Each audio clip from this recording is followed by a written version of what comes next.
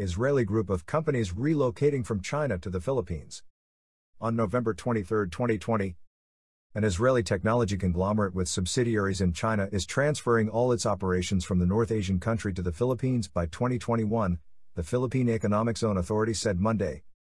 PEZA Director General Charito Plaza said the Israeli conglomerate was set to sign a memorandum of understanding with the agency in December to formalize their intention to invest in the Philippines. This firm will be bringing here all 16 companies it has in China.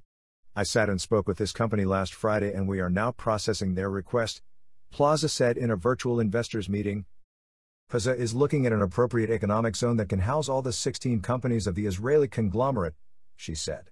PEZA said the conglomerate was registering its businesses with Plaza and was looking forward to working with the Philippine business community.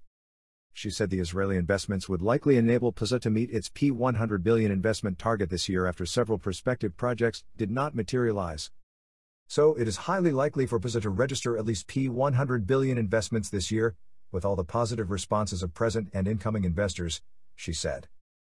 PEZA approved P72.6 billion worth of investments from January to October this year.